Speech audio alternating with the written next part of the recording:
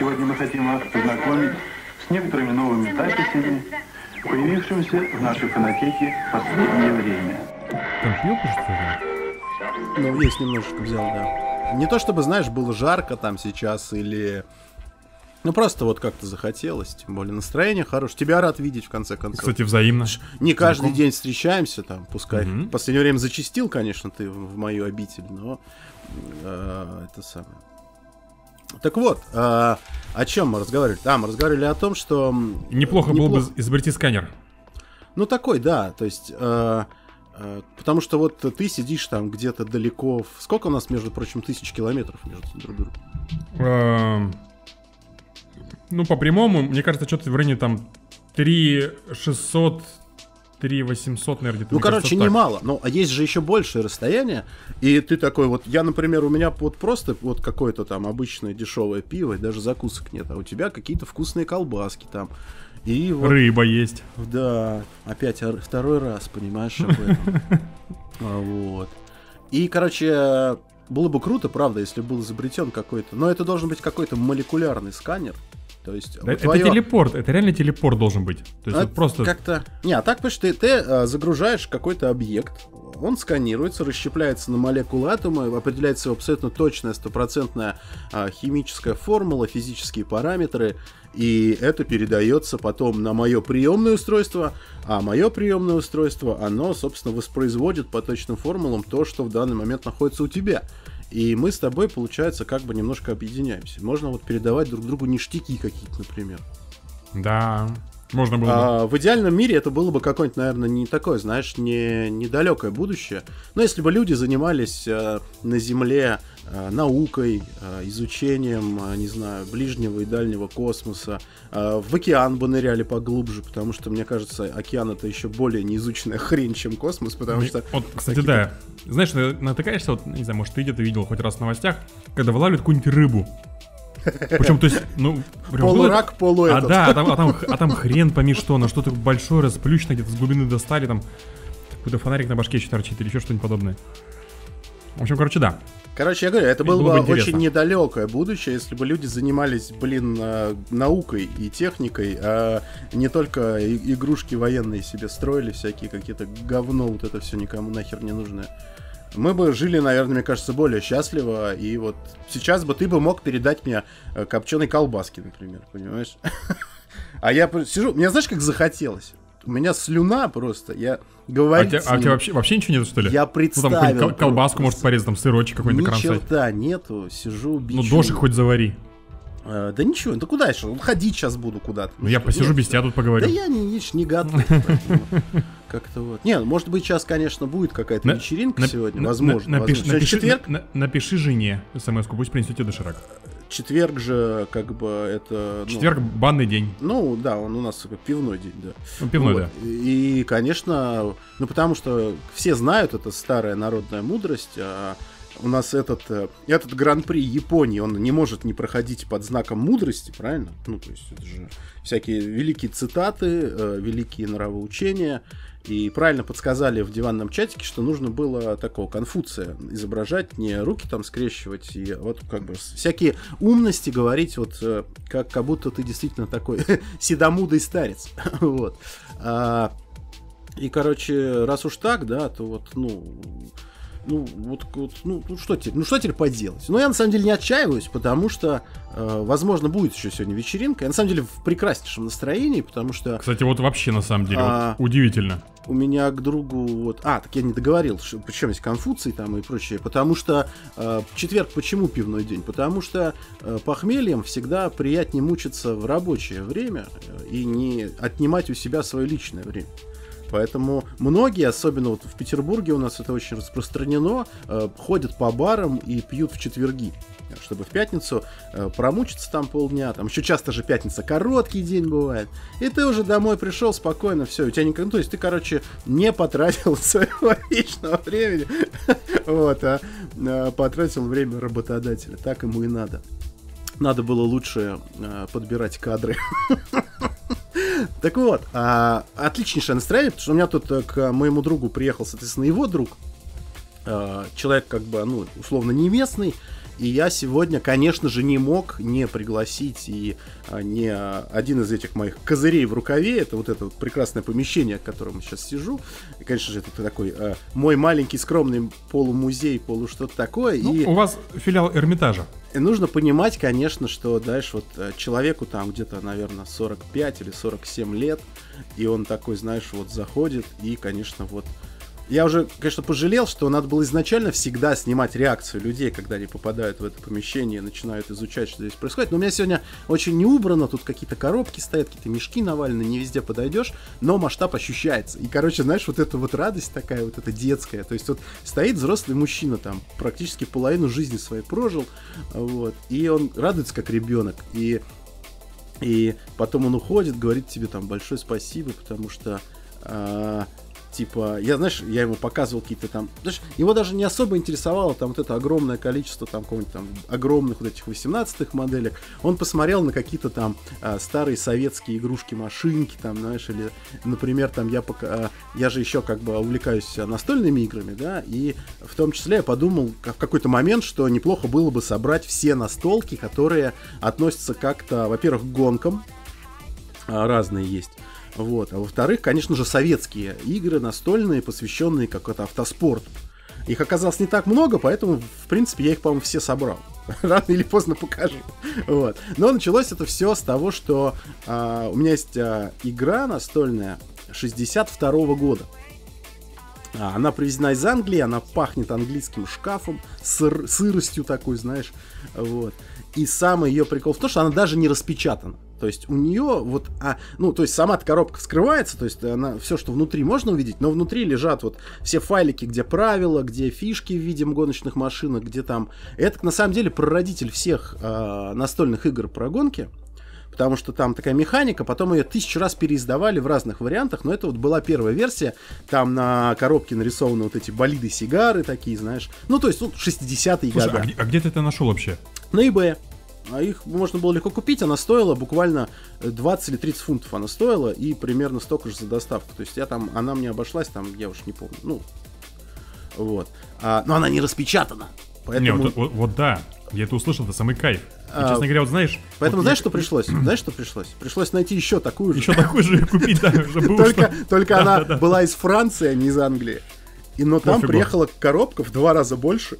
Я не понял, как так. То есть она принт такой же, все такое же, с виду все такое же, но коробка в два раза больше. И игровое поле в два раза больше, а все остальное то же самое. Слушай, ну какой-то, видимо, вып... а год выпуска один и тот же? А, нет? нет, немножко отличается. У тот, тот 62-й английский, а французская, по-моему, 64-й. Ну вот, видимо, решили как-то сделать покрупнее все это а, дело. Но она вся на французском, ты такой, да и пофигу. Но она распечатана. Да какая, есть, какая... Там, Нет, ну, там, хотя бы там... не жалко уже. То есть можно да, там да, переводчиком как прикол. перевести, их поэтому, посмотреть. Их поэтому и две, что в одну можно играть, а вторая лежит уже как экземпляр. И вот Нет, я... Э, вот да, мне было бы жалко открывать, вот честно. Так это вот. прям факт. И в том числе я вот человек это показал, просто все вот это, говорю, представляешь, сколько вообще всего. Вот, плюс вот эти советские какие-то штуки, он уже уходил, я ему там вдогонку показываю какие-то советские настольные игры, знаешь. Там очень красиво, это как, как арт-объект даже очень классная штука, потому что там на коробках вот эти вот арты, именно как нарисованы гоночные машины в представлении советских художников 70-х 70-х годов, там, и, и гоночные «Жигули» там периодически, какие-то формульные штуки, это очень... И вот это, знаешь, вот эта вот благодарность, что, типа, вот, э, спасибо, как ты вообще, как, как тебе, там, типа, удается, как ты это сделал, что ты, типа, наше детство вот сюда все принес.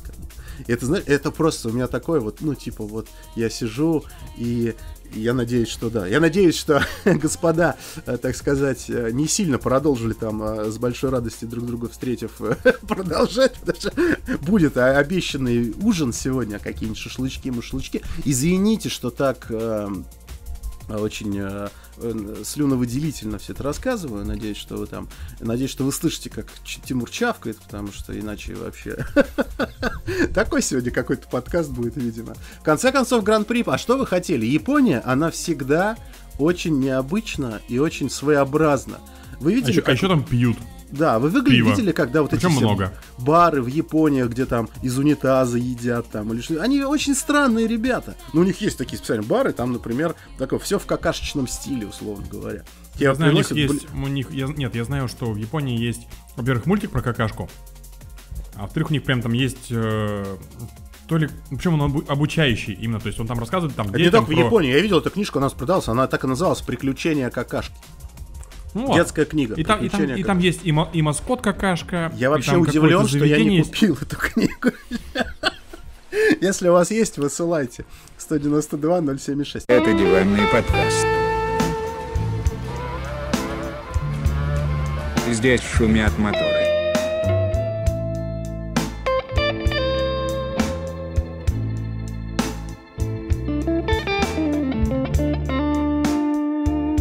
Привет, друзья, мальчики и девочки, все любители автоспорта, гонок, разговоров о главном, о важном. А, Разговоры о важном, на самом деле, это те действительно разговоры о важном, которые должны быть в каждой семье, в каждом доме, который увлекается автомобильным спортом, автомобильной культурой, а, немножечко Японией, а, или вам просто, может быть, э, чутка за 30, чутка за 40, может быть, чутка за 20, но а, всех вас объединяет одно, это э, не желание адски взрослеть, э, желание э, собирать и разбирать разные механические штуки. Может быть, вы любите гоняться, и вам нравится скорость, или вы какой-то вообще спортсмен-профессионал, или просто любитель, который так возьмет, да и сядет в какую-нибудь быструю машину. Да как пора, хватит. В общем, это диванный подкаст, 70, кажется, второй или третий выпуск. Я когда-нибудь научусь их запоминать. Тимур Евгеньевич, добрый вам вечер. Здравствуйте, Приятного Александрович, аппетита. э, коничева, самураи, самурайки, э, гейши, э, ну, в общем, здравствуйте, короче, всем. Э, Гейтесь гейши, что называется. Гей, гейши и гейки, я, я не знаю, как это назвать. Короче, Да, здравствуйте. на- к нашему с тобой сегодня между собойчику пару геек бы не помешало, конечно. Ге- ну, нормально, гейшек, гейшек, гейшек. Я Да, против. Ну, гей, гей, ну, спасибо, пожалуй, я, я В откажусь. кимоножках, в кимоножках на голое тело, что называется, чтобы вот... И чайную церемонию. Э, да, э, чай должен быть э, светлый, нефильтрованный. Есть что-нибудь там за эту неделю, какие-нибудь новостные ресурсы, что-нибудь? У меня есть одна новость, от которой я в голос прохохотался, и, собственно, мне больше ничего обсуждать не надо, но я бы послушал, может быть, ты что-то, как Нет, всегда, ну у нас, у нас, основное и главное. у нас наконец-то, конечно же, конечно же, у нас подтвердили Гасли и Девриза. Гасли, собственно, у нас идет в Альпин, Девриз у нас идет в Альфа Тауре. И вот тут у меня, честно говоря, большой вопрос. Конечно, на бумаге выглядит все потрясающе красиво. Эйфелева башня, Марсельеза, два французских пилота, француз... прям шедевр вообще. Ну, просто, я даже не знаю, как это назвать, просто прям, а, вот, вот прям блестяще, мне кажется. А, но, честно, у меня прям есть сомнения по поводу этого дуэта и успеха Гасли, в принципе, в целом в Альпин. И, и Альпин в целом. Потому что вот пока мне, честно говоря, какие-то очень такие, ну, пессимистические настроения в этом плане. А почему? Там- Я не знаю. Я вот, я вот Гасли как-то в Альпин не вижу. Я не вижу вот Окона вместе с Гасли. И вообще вот, то есть, я, я не верю, что вот это будет прям какой-то вот... э, А ты вообще такое. Акона видишь? Я просто, я, я просто Акона вообще не вижу. Потом раз говорят, четвертый приехал, ты такой, где? Нет. Кто это? Окей, все, все хорошо. То есть здесь, видишь, как бы, то есть такая гонка, скажем так, э, несколько необычная по формату прошла. Вот, поэтому... Не знаю. У Ну, меня подожди, прям, у смотри, меня, прям а- у меня счет Гасли есть. Окей, у тебя могут быть претензии там, ну, может быть, Гасли, может быть, ты там, да, опять-таки, не до конца уверен в Аконе, но в целом, если не брать э, технические сходы, да, то есть, ну, э, любая машина, особенно когда она старается быть быстрой, поначалу она будет не очень надежной. А, и но мы же видим, что когда нету вот прям натуральных проблем и не отказывает техника, в принципе, в этом сезоне, что Акон, что, естественно, Фернандо Алонсо, они достаточно высоко финишируют. То есть Альпин это в целом очень такой неплохой середняк сейчас.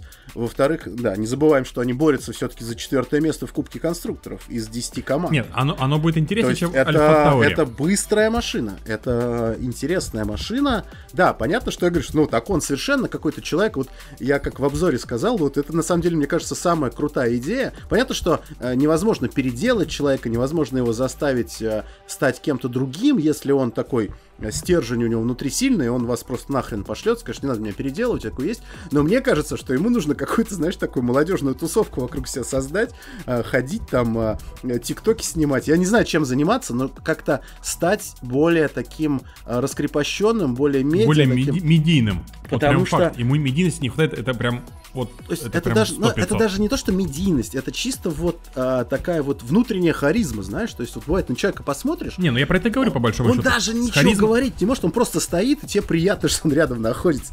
А вот Ну, как, а как Кон- Алонсо, как Кими были в свое Ну, время, например, я понимаю, да. А Кон, ты такой, ты не понимаешь, вот типа, вот, ну, быстрый же чувак получается, ну, Ну, неплохой. вроде как бы но- нет, не- то есть не, не, и- не и какой-то там рентач. и, и куда-то Да. приезжает там, и что-то. А ты вообще не запоминаешь каких-то от него там этих перформансов, потому что даже если они есть, они проходят максимально бесследно. Он как серенький такой, знаешь, вот вот вот как-то хочется, Не, короче, вот, его честно, разукрасить. я, я, я помню, то есть, да, он выиграл Венгрию, он приехал на подиум в Бахрейне, в этом странном кольцевом Бахрейне. Ну и вот сейчас вот э, четвертое место, да, вот в такой вот тоже кривой косой Японии. Не в самых лучших условиях, опять-таки, да? Да, нет, да, я, я не спорю ни с талантом Гасли, ни с талантом Акона, ни в коем случае. Но вот этот весь симбиоз, Альпин, Гасли, Акон, э, у меня пока вызывает сомнения. И, опять же, у них есть небольшой бэкграунд в отношениях.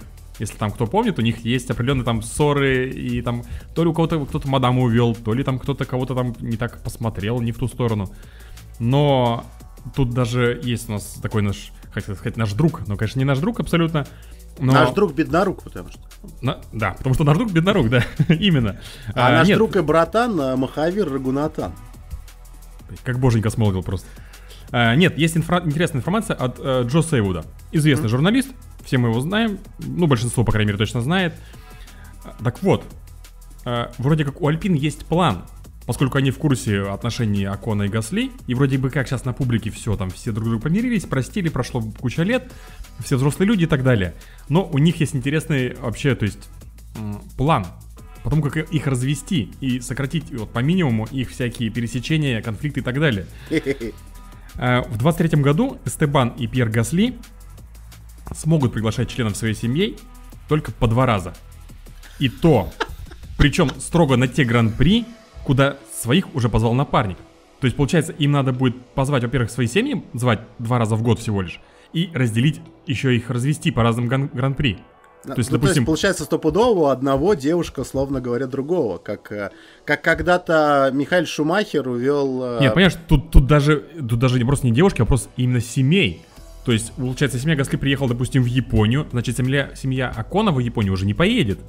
То есть, и вот здесь вот, ну, если вот это уже сейчас за, условно, еще там, сколько сейчас а, октябрь, там, через полгода стартует такой новый сезон, а уже вот это вот началось, мне это вызывает вопрос, а что вообще там дальше будет? Понятно, что это, скорее всего, такое там, ну, так, возможно, сейчас какие-то слухи, возможно, там что-то еще, но в целом меня вот уже ситуация вот эта вот уже так немножечко смущает. Я понимаю, что они, скорее всего, взрослые люди, они профессионалы, они там справятся со всем этим. Но в общем и целом, я пока что...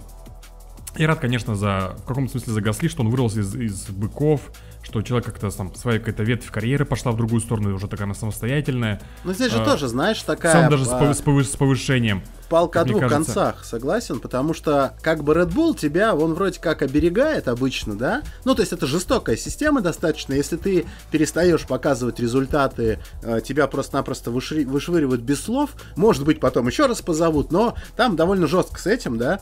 А, но, тем не менее, это все равно команда, которая позволяет держаться на плаву, э, команда, которая а, ну, например, тот же Гасли, да, сколько уже. И даже несмотря на то, что он а, побывал уже в, в главном Редбуле, да, и был оттуда обратно разжалован, пока они пытались найти себе кого-то, кто был бы верным оруженосцем Максу Ферстаппину.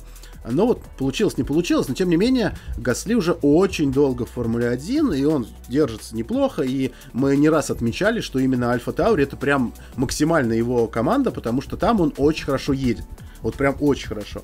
А, И с одной стороны, вроде как ты от этих оков как бы освобождаешься, да, ты у тебя дальше развитие, но это получается как дорога в никуда. То есть, если он сейчас себя в Альпин не покажет максимально круто, Ну, то есть вот он не поедет там на уровне того же Акона. То есть вот, условно говоря, если а, сейчас Гасли поедет так же, как едет условно Рикьярдо? Фернандо Алонсо, там, Нет, я к тому, что если смотреть как и Рикьярдо, То всё. и, и, и сольет Акону, то то как все. бы потом фиг знает, куда вообще идти потом. А скорее всего, это будет как раз-таки завершение карьеры. То есть а, ты как бы все. То есть никто тебя не позовет в какие-нибудь еще там дальше команды. То есть вот, вот этот Альпин сейчас, это твой такой а, а, камень преткновения. Либо ты сейчас станешь звездой, и все такие, вот посмотрите, он даже здесь круто едет. Он едет там на уровне Алонса, потому что вот здесь Алонсо как хорошо ехал, да, и сейчас он здесь также хорошо едет, там не уступает Акону, или там опережает его, или хотя бы наравне с ним.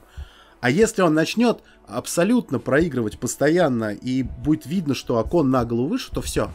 То есть какой-то год, может, два Альпин, и все. Дальше, ну, как бы ты, ты все, ты никому не нужен, потому что ты уже ушел из Редбула. Ну вот там т- с Альпин, конечно, единственное непонятно, насколько контракт подписан, потому что он вроде как мульти. Ну, Ну, там, есть, как всегда, я думаю, что в ну, таких скорее всего, случаях... какой-нибудь 2 плюс 1, возможно, скорее я думаю, всего, что один какой-нибудь. плюс один, скорее всего, все-таки. Скорее Ну, такое. Мне кажется, 2 плюс 1 все-таки. Французы они такие, ребята своеобразные. Я думаю, что могли подписать 2 плюс 1 на самом деле. Ну, чисто мое какое-то такое внутреннее э, мироощущение. Вот. И я не знаю, то есть, как бы, да, сейчас они друзья, сейчас они в разных командах, ну, на данный момент, до конца года. И сейчас они общаются там, как бы, там, и так далее, и так далее, там, все пошутили, разошлись. Но когда вы окажетесь в одной команде, и у вас возникнет какая-нибудь стычка, какое-нибудь столкновение, какая-нибудь уже будет борьба квалификации, в гонке, ну вот у меня прямо нет уверенности, что все не повсплывает. Вот все, что было вот там вот, оставили там и взрослые люди, руки пожали, все поулыбались, все замечательно. Я не знаю, то есть вот у меня пока, то есть вопрос такой вот с Гасли, ну вот, будем, будем посмотреть, что называется. Да, Вот. не существует взрослых людей, все это миф. Тут же вспомнят все, будут вести себя как эти самые. Вот, я, я вот это и опасаюсь. Желтушечка. по Девризу. По Девризу, ну... Кстати, с Девризом, подожди. А, а, все же говорили, ну, то есть это же Девриз или Дефриз. А, И я все-таки понял, ну, то есть, а, скорее всего, а, разница в том, а, какая буква идет следующая, гласная или согласная. Если у Ферстаппина это В и Е, то у Вриза это В и А. Поэтому все-таки вроде как Ферстаппин он Ферстаппин, а в- Вриз он все-таки В, Вриз, типа, не Фриз он все-таки, не антифриз. Но ну, дальше видишь, я думаю, что... голландский язык, честно говоря, вот тут Лингвисты поймешь. подскажут. Ну, на самом деле, хотелось бы правильно называть, но уже намного привычнее и намного понятнее. Все-таки все говорят Девриз. Ну, как-то да. Поэтому, наверное, все-таки, скорее всего, с точки зрения не просто ж так, наверное. Я буду надеяться, что действительно это связано с тем, какая буква идет следующей за, за главный В. И все-таки он пускай будет. Я бы хотел, чтобы он был Девризом. Очень потому что тяжело говорить и писать Дефриз. Это как Ря... Ряйканин. блин. говоря, Вроде как правильно Ряйканин, а не, не хочется писать Вообще. его каким-то А, Ряйканином. а Де Фрис это какой-то француз уже получается, если честно, а не голландец. Ля де Фриз. Ну да. Да-да-да. Вот, по А Де что с ним не так? М, Да с ним все так. У парня была одна гонка, удачная. Посещение обстоя- Я не спорю, он хорош. Но так ли он хорош, чтобы после одной гонки его подписать? М, Да он давно ждет, на самом деле, ну, реально. И все его давно ждут. Ну, не все, Я не спорю, ждут. что он давно... ж- Все, все давно хотят Формулу-1. Я не спорю, что он давно ждет, само собой. Но так ли он хорош, чтобы прям сесть и поехать сейчас в Альфа Таури? Вопрос. Причем, кстати, вот я тут э, вроде как обсуждение было, что в рот, вот вроде как м, Цунода теперь станет первым номером команды. А тут, кстати, где-то слышал слух такой интересный, причем, по-моему, даже от э, товарища Марка, что, знаете, Деврис у нас приходит вроде как гонщик опытный, и он будет первым номером команды. И вот у меня вопрос, как бы, а не слишком ли много преференций сразу вы тут раздаете товарищу Девризу? Да. Ну, это, с одной стороны, немножечко, да, это, знаешь, как-то, когда синдром завышенных ожиданий, потом можно немного офигеть. Да, он чемпион э, Формуле Е. Окей, хорошо. Была отличная одна гонка. Но, с другой стороны, у нас были уже люди, которые приходили на одну гонку, удачно ее проезжали. Но в целом, как бы, ну, тут такой Нет, себе слушай, момент, ну на самом вот, деле. а, Здесь я как-то совсем не сомневаюсь, потому что Деврис это действительно, ну, на мой взгляд, скромный один из э, тех талантов, который э, на тот момент Формула-1 прям теряла, потому что он сразу не пришел после там Формулы-2 туда, и а, это действительно человек, который а, ну, он для меня на уровне где-то примерно, знаешь, по такому вот... э, Наверное, я бы в сторону Ланда Норриса вот туда вот отнес. То есть это вот такая Возможно. ус- условная это, это- уже это, молодежь, это, опять же, это чисто мои соображения который и чисто вот мое очень представление. хорош за рулем э, гоночного автомобиля, и я думаю, что все должно получиться. Ну, мы всегда даем э, сноску на то, что э, не всегда там все машины подходят. Это не значит, что человек на любой машине поедет выше головы, но даже на средней, а как бы Альфа Таури вполне себе хорошая средняя машина, я думаю, что он э, будет показывать вполне-вполне достойный результат. Ну, опять же, посмотрим. Я говорю, просто я вот ко, ко всем этим трансферам пока что отношусь э, с таким с подозрением с небольшим. Цунода, казалось бы, должен стать первым номером, и это, ну, логично, потому что он, простите, уже будет третий сезон, получается, да? А Вот. А, и это все-таки большой опыт, но ему все-таки, наверное, до сих пор не до конца доверяют и а, до сих пор считают, видимо, вот так за кулисами больше все-таки неким медиапроектом Хонды, чем а, бесконечно Цунода, Цунода талантливым пилотом. прикольный. Цунода Он интересный. прикольный, он медийный. Он интересный, медийный, он, да, он то есть, но он- необычный, но, он нестабильный. Когда человек, э, он нестабильный, да, вот в этом это дикие эмоциональные качели и дикие гоночные качели, знаешь, Как, из как серии- бы я не любил Цуноду, как бы не любил японцев и Ази- Азию и Хонду в принципе, как бы, то есть, но да, я отдаю себе отчет, что он реально нестабильный. То есть, у него, помнишь, у были него- у такие него гонки из хорошие серии... гонки. Подожди, что это было там? А, Турция, по-моему, да, где он там... Турция, э, где он бодался с Льюисом, где он бодался с Алонсо, он сдержал он как- и ехал хорошо. То есть А бывают вот такие вещи, как э, Канада или, собственно... как Сингапур, э, вот Когда, да, прошедший. ты, ты, ты просто на ровном месте совершаешь какой-то абсолютно просто идиотизм. взял и и- упоролся в стену. Да, и, и, и это такие, это, это прям такие черные и белые мы сейчас описали, а есть еще такие серые вещи, которые вот они прям качаются сверху вниз, сверху вниз. Это более мелочи такие, но это все равно заметно, что действительно нет стабильности, поэтому вполне возможно они такие, слушайте, ну мы этого парня видели в деле, ведь, понимаешь, а, опять-таки, да, вот ты сейчас говоришь, проехал одну гонку. Ну, во-первых, э, он там тест-пилот и вообще пилот Мерседеса, там, да, он э, в этом году уже переездил просто за какое-то безумное количество э, машин на, на тестах. А он был в одной команде, в другой, вообще к одним приехал, за других поехал. А, и мы все-таки, то есть вот оста- оставаясь... э, там Формула-1 все равно не до конца открыта, да, ну, у них там куча всего запрещено, там нельзя какие-то тесты, но те, кто едут, и те, кто знают, что они поедут, и те, кого тащат, чтобы они поехали, они, блин, вот положа руку на сердце, чуть ли не каждый день гоняют и наматывают круги на всяких закрытых тестах, пусть и на устаревшей технике, но тем не менее э, люди ездят бесконечно. И, конечно, э, когда там с кем, куда, где подписывают контракт, заранее все примерно понимают, что из себя этот человек представляет.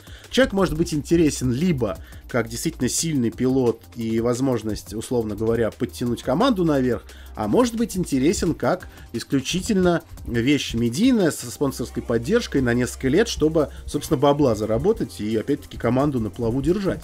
Так что это все такие, как бы, скользкие вещи. Я думаю, что если уж там, простите, как ты сказал, Марка заявляет, что э, мы парня берем, он чуть ли не номером один может стать, ну, как бы, блин, значит, он знает, что он говорит, в конце концов.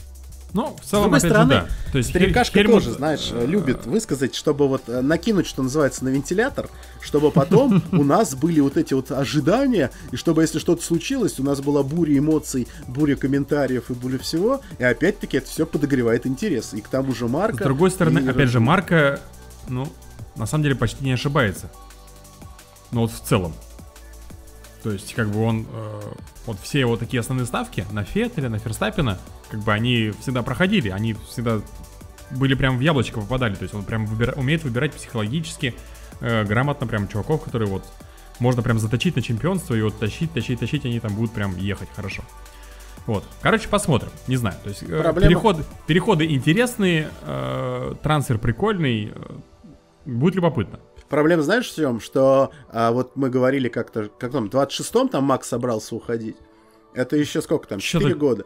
Что-то типа того, да. Вот. А Деврис, он на самом деле ни хрена не молодой. Он, он такой же уже. Ну, то есть, а, Да, и, да. соответственно, через 4 года воспитывать из Девриза молодого чемпиона уже тоже как немножко не то. То есть, а, тут Нет, я скорее- думаю, что Де- Деврис в данном случае это чисто вот именно такая вот, ну как, не знаю даже, разменная монета, может быть, и как правильно это сказать. крепкая То есть боевая единица. Кре- Да, да, то есть Гасли хорошо мы отпускаем, причем за Гасли отвалили кучу денег на самом деле. Вот, э, вот еще мне, кстати, один вопрос. А стоит ли Гасли таких денег? 10 миллионов компенсации за Bull, ну, в смысле Bull, и тридцатка зарплаты.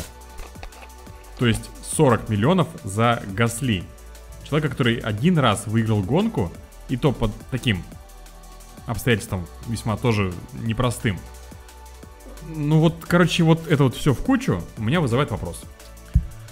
Гасли будет, стоит деле, 40 посмотрим. миллионов. А чего стоишь ты, юзернейм?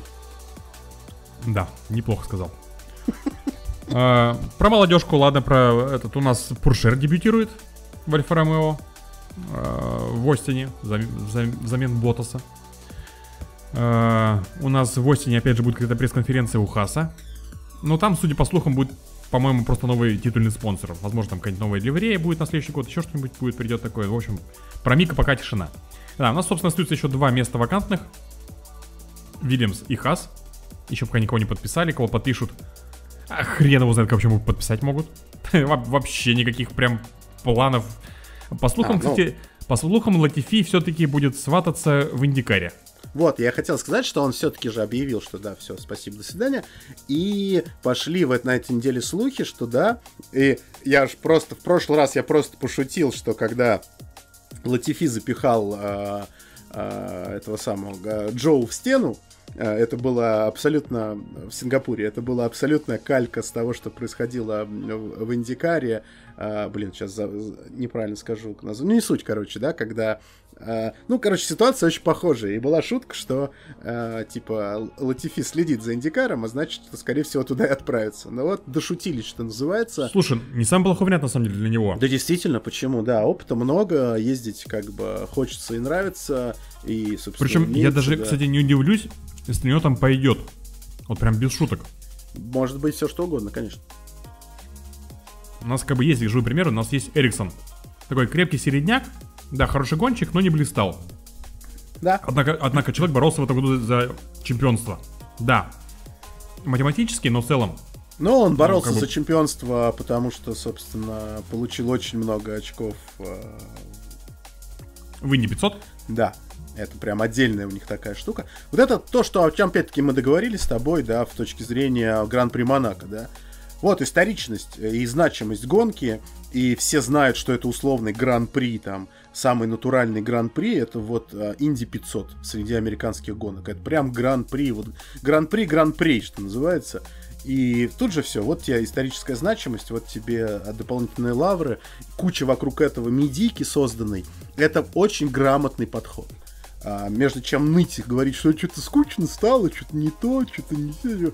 Сделайте из этого настоящий праздник, и э, люди будут гордиться тем, что они здесь выигрывают, и тем, что... и- А другие будут гордиться тем, что они приходят на это посмотреть, на это знаменательное историческое событие. Вот, в общем, да. Да. Про- Просто так с собой могу согласиться, на самом деле. таки да. Хот- хот- хот- Хотел что-то еще добавить, думаю, нет. Уже тут, в принципе, все сказал. Вот, поэтому Латифи, если получится, ну, прекрасно. Флаг в руки. И, в общем-то, если, опять же, хватит денег и возможностей, и все это пойдет, поедет, почему Ну, нет, нам, нам нужен на хороший Латифи-заменитель, потому что без Латифи, конечно, будет скучно. Ну вот, а кого менять-то непонятно. То есть, допустим, э, ну хорошо, Мика, ну, допустим, что подпишут в ХАС. Все-таки слухи ходят, что в целом, как бы, вроде бы, переговоры идут хорошо. Да, он разложил машину там в квалификации э, в Японии. Ой, в квалификации в Он практике. еще, да, это, причем не ладно бы в практике, после, после уже в- После- после, красных практики, флагов. да. Так что Вот. это такое. А. Оч- очередной раз добил, но Ну, в общем, так или иначе, вроде по слухам там все довольны, все хотят продолжать и так далее, и так далее. Ну, допустим, подпишут Мика. А кого садить Вильямс? Что-то как бы я даже не знаю. А, там у нас Логан, который саржент в F2. Но ему надо быть в топ-5, а он пока не в топ-5, и там все, все решится вот в Абу-Даби. То есть это у нас будет уже конец года. А, с другой стороны, конечно, Вильямс никуда не торопится, и условно всегда может подписать условно какого-нибудь Крюкенберга. Вот. Просто позвать, сказать, чувак, поехали. Ну, поехали, поехали, хорошо, поехали. Мне кажется, вот Халку вообще без, без разницы просто где ехать. Но вернусь в Формулу-1 будет прекрасно, будет замечательно. Вот, и... э, Честно говоря, даже не знаю, то есть кого могут еще посадить. Вот так вот. Ну, Другович у нас, да, у нас чемпион Формулы-1, ой, Формулы-2, извиняюсь. Э, Он у нас тест-пилот э, Астон Мартин. То есть, ну, ре- резерв-драйвер. э, А вот кого еще? Пуршер. а, Это Альфа Ромео. Он поедет там практику за Альфа Ромео в осени.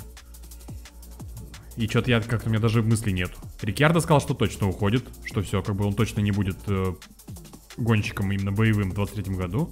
Он надеется сделать перерыв и в 24 году выйти. И у меня, короче, как-то мысли кончились. На тему того, а вот здесь осталось вроде, вроде, вроде всегда была толпа народу, который хотел попасть в Формулу-1. Да, все А же щас- всегда говорят, как мало мест, э, так много а вот, а вот, а вот сейчас я, честно говоря, не знаю. То есть, ну, у Мика там, по слухам, еще вроде как есть и интерес Уильямс. Ну, хорошо, Мик выберет. Но один фиг, одно место свободно остается.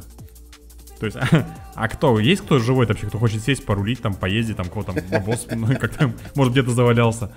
А, ну, короче, как-то вот такие вот интересные И моменты. тут э, приходит Филиппе Масса и вновь плачет в Бразилии. Вильямс Да, да. разбивает машину и плачет в Бразилии. Вообще, это будет шикардос. Кстати, там, по слухам, еще вроде как Кими собирается в Индикар, вроде как там сейчас Чип Ганаси там порешает с четвертой машиной. И хотят там вроде как э, Джимми Джонсона посадить на овалы, а Кимаса похотят посадить э, на дорожники. Но там неожиданная преграда в виде, Минту, в виде Минту. А, знаешь, еще есть такая типа версия, что, возможно, это просто как раз-таки для того, чтобы у Геннесси появилась типа, ну, продать, короче, подороже четвертую машину вот эту самую. Это само собой.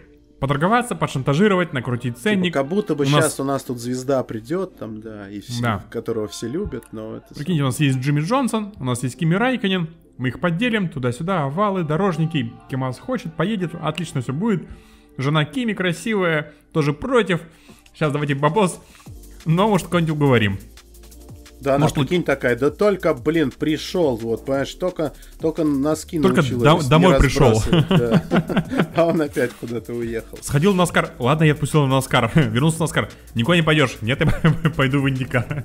А, возвращаясь к Наскару, кстати, Даниил Квят провел неплохую, причем такой, поеду подряд, все, вот он в Xfinity проехал, в младшем, условно говоря, дивизионе, а, проехал неплохо, то есть машина была очень хорошая, ничего не подводила, поэтому, да, там финишировал, по-моему, во второй десятке, но а, это для новичка и на таком как бы уровне это очень неплохо. Ну, а в, в основном кубке опять у него были проблемы, и опять был технический сход, и вот второй раз подряд, э, то есть не может он себя показать в основном а, в главном дивизионе Наскара, потому что вечно что-то какие-то проблемы с машиной, но опять-таки я так понимаю, что им довольны, и он сам по себе доволен, так что очень радостно за его, то, что его гоночная карьера как-то продолжается, и он туда успевает, сюда успевает, вон тут в Россию приезжал погоняться, тут обратно за океан, и вот в Наскаре в очень тоже раскрученной, известной серии. Короче, молодец, я считаю.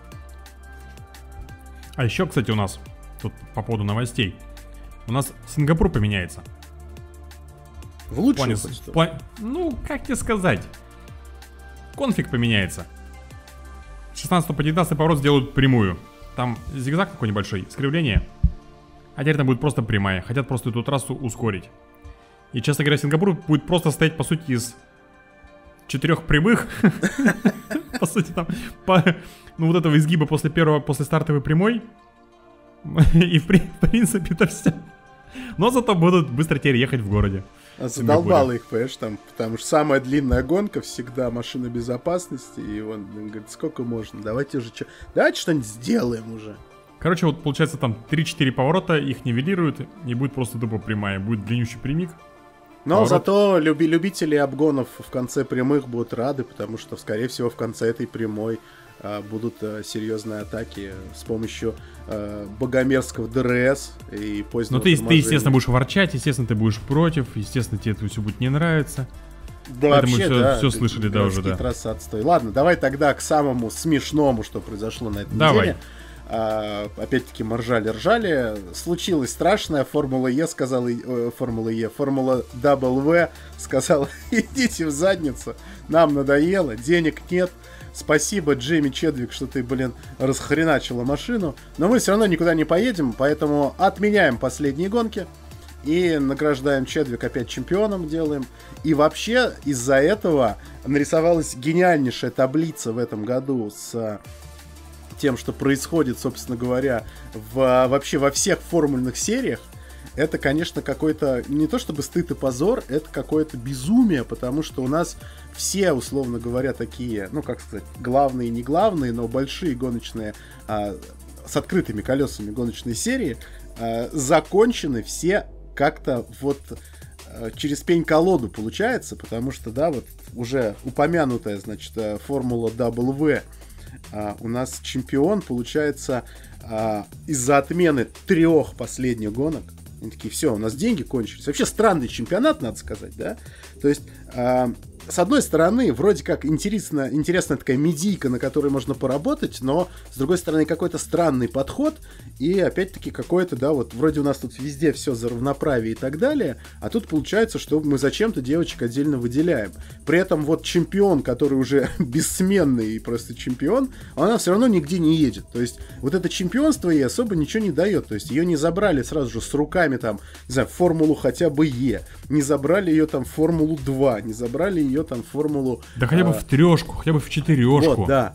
А не лучше ли было бы вот какой-то вот этот вот чемпионат делать не чемпионатом, а просто тогда уж, если вы хотели на этом что-то заработать или что-то, какое-то имя там, или деньги, или просто а, развитие именно женского автоспорта, ну, вкладывали бабло именно в поддержку. То есть была бы какая-то школа, показывали бы там, не знаю, нам, как на Netflix сериал, как девчонки там учатся, а, и потом бы показывали, кто из них самые лучшие, как их приводили бы в гоночные серии, как они там а, показывали, значит, этим а, вот этим мразям, вот этим. Причем, причем э, показывают, да, сериал на Netflix. Ну, как бы надо же продвигать, подписка платная. А за другие деньги на OnlyFans. Ты белая цисгендерная мразь. Ужас просто. А, Ну ладно. Так вот, э, хрен с ними, да, там с с форм... Короче, Формула-1, да, вот, собственно, Япония, то, чего мы сегодня будем обсуждать обязательно, Макс Верстаппин, и вот это вот награждение чемпионства после интервью, что-то там, э, короче, вялое. Полная херня вообще. Да. Вот Макс, Формула... вот Макс, если честно, я, извини, что эту тему затронули. Макс двукратный чемпион. И два чемпионства полное дерьмо. Вот Нет, ну ладно, просто в не прошлый, раз, скажешь. в прошлый раз хотя бы это было дико эмоционально. Ну, то есть, все орали. Ну, посмотрите, вот эти... на- наберите, если кто до сих пор не видел, в Ютубе видео из серии, там, типа, реакция а, там, людей, там, или реакция болельщиков на а, чемпионство Макса Ферстаппина. И там вот а, нарезки из баров, из всяких там Это понятно, ресторанов, понятно, пьянок. что было эмоционально. И у него Но тоже, я к ну, тому, то что есть дотянули оба, до конца. оба чемпионства Ну, это там, какие-то да, там судейские это- разбирательства, какие-то вот этих, да, да, да. адвокаты, какие-то судьи, кто-то протесты, апелляции. Вот это... Вот... эм, я не фанат Макса, но, конечно же, он великий гонщик, он э, чемпион заслуженный, вообще никаких вопросов нету. Но оба чемпионства какие-то... Ну, какие-то никакие, вот если честно. Я, честно, вот я на своей памяти даже не могу вспомнить ну, это только, наверное, вот 2008 год, наверное, вот, вот Масса Хэмилтон. Вот, вот здесь вот это вот, вот. Кто чемпион, кто не чемпион и так далее. Ну, там опять-таки, там это на нерве было, то есть там, там- же не было да. ничего такого, то есть все, один уже финишировал, а второй там в последний момент В последнем пересекает, повороте, понятно, обгоняет. да, да, да. это, это как раз-таки тоже, это такая, это скорее, знаешь, вот это скорее отнести к прошлому чемпионству Макса, когда вот на каком-то вот, на нерве на таком натянутом все это происходит, а в этот раз это просто, вот знаешь, такой, типа, ну, поздравляем, кто ты чемпион, в смысле, кто чемпион? Я, ну да, типа, ты чемпион, почему? Да, мы там решили штраф сейчас, и там, ну, что-то... То есть вот очки, очки полные, штраф Леклера, как не бы, было эмоций, поздравляю. не было вот этих слез, там, знаешь, не было вот, ну вот того, что мы так привыкли видеть, э, когда действительно э, вот это, ну, короче, это действительно какая-то закулисная херотень просто. Мне это, знаешь, мне это напоминает э, подиумы Сайенса в свое время. Вот тоже Мы дадим Я тебе по- кубок, но подиум после того, как подиум пройдет. Да. Подиум прошел уже. Потому что мы текучки это. обещали одному, одному телевизионному каналу, что мы тебя показывать не будем никогда. Вот тебе кубок, а где, а где же мы подиум? Подиум прошел, извини, вот тебе кубок, иди отсюда, мальчик. Дома протрешь Ну, от пыли потом, и друзьям там покажешь, хвастаться будешь. В общем, э, короче, как-то все Да, это срань очень странно. господня. Короче, Формула Е, В, э, Формула 1, Формула 2, опять-таки, да, там Так Формула 3 то же самое, там в все решилось в сидели, момент там, крас- типа, красного флага и Формуле считали, кто 3, кому сколько. Да, опять-таки там какие-то странные судейские решения, красный флаг. А, что еще?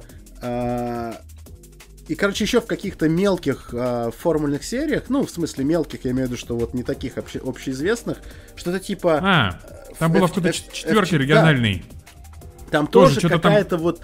Что-то полная- финишировали, какие-то дисквалы, кому-то что-то отняли, поменяли, кто-то чемпион. Короче, какая-то хрень полнейшая. Решайте все на трассе. Короче, в этом году все чемпионства с открытыми колесами заканчиваются абсолютной фигней.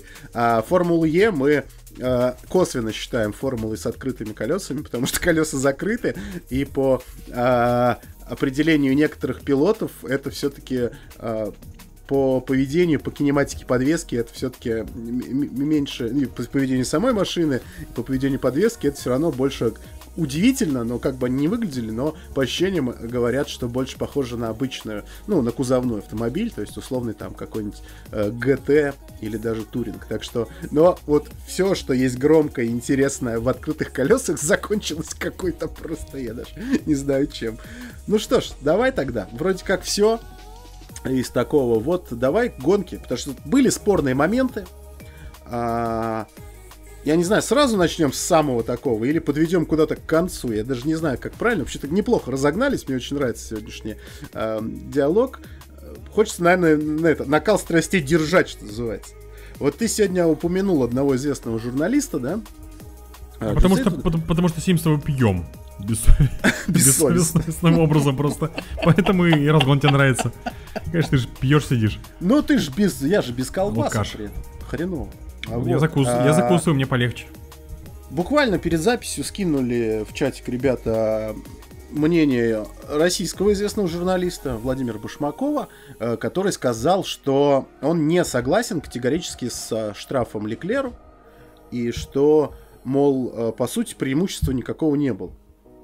А э, в правилах и в спортивном регламенте написано, что ты должен не отдать позицию дословно, а должен вернуть преимущество. И что косвенно типа Леклер это преимущество вернул, потому что там была у него пробуксовка, не пробуксовка, но вот расстояние сократилось, мол, типа вот э, Чек его догнал. Соответственно, он привел пример, и тогда тоже дико возмущался, когда, собственно, в Абу-Даби в прошлом году э, Макс атаковал Льюиса в- на первом круге, или когда это там было, я уже забыл, и э, Льюис срезал шикану и сказал, что он меня выдавил, но при этом как бы выдавил, не выдавил, но Льюис уехал, типа. И Владимир сказал, что все-таки Льюис тогда немножко притормозил, и вот то самое преимущество, то есть ты можешь, условно говоря, подпустить человека к себе, тут же вовремя нажать на газ и отъехать. Но типа преимущество ты вернул, э, ну, э, не преимущество, а компенсировал, короче, вот, вот Ну, свою стреску, я понял. да. А, то есть не обязательно типа позицию отдавать. Но я все равно, вот, что касается эпизода здесь, я в корне не согласен с тем, что преимущества не было, потому что Леклер наискосок проехал трассу.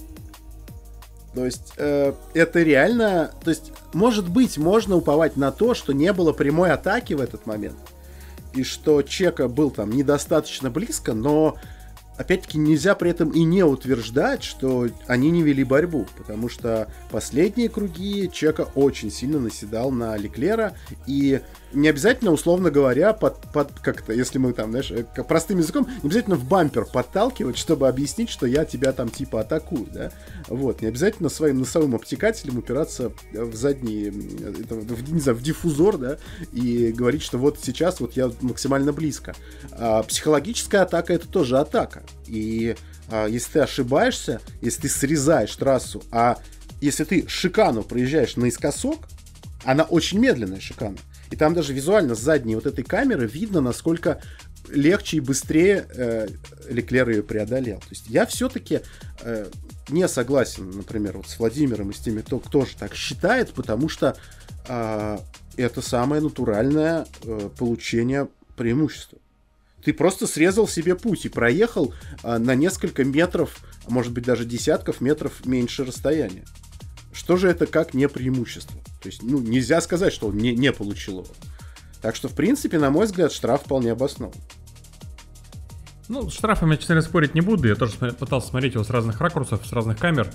И он, ну, он, знаешь, вот, честно, на грани.